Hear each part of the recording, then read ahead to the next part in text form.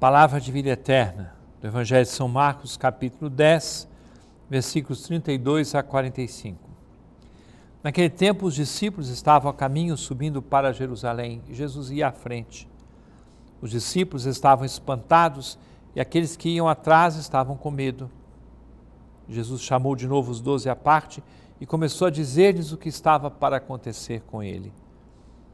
Eis que estamos subindo para Jerusalém e o filho do homem vai ser entregue aos sumos sacerdotes e aos doutores da lei. Eles o condenarão à morte e o entregarão aos pagãos.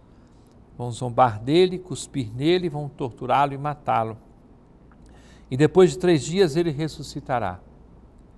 Tiago e João, filhos de Zebedeu, foram a Jesus e lhe disseram: Mestre, queremos que faças por nós o que vamos pedir. E ele perguntou: O que quereis que eu vos faça?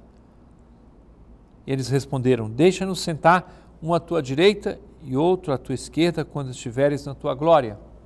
Jesus então lhes disse: Vós não sabeis o que pedis. Por acaso podeis beber o cálice que eu vou beber?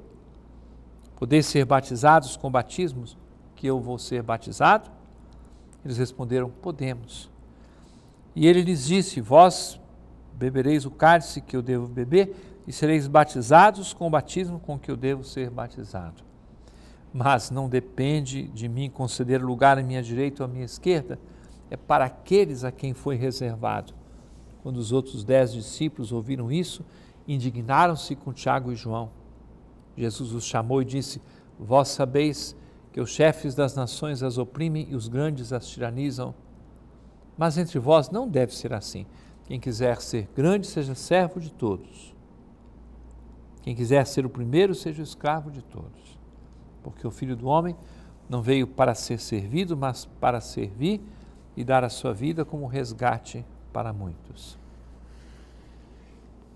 Escolher o caminho do serviço. Escolher a disponibilidade. Nosso Senhor assusta os seus discípulos porque ele fala de morte, fala de sofrimento, fala de cruz, fala de escolher o último lugar, fala de servir. Será que nosso Senhor quer as coisas sempre assim conosco? É, a verdade é que a alegria verdadeira vem de você escolher o lugar do serviço, da simplicidade, da disponibilidade. A escolha é nossa. Se você quer apenas escolher a concorrência, o poder, passar por cima dos outros, pisar na cabeça dos outros, você pode até conseguir, depois sentirá uma frustração terrível, porque não fomos feitos para isso, fomos feitos para amar e para servir, para dar a vida uns pelos outros. É palavra de vida eterna.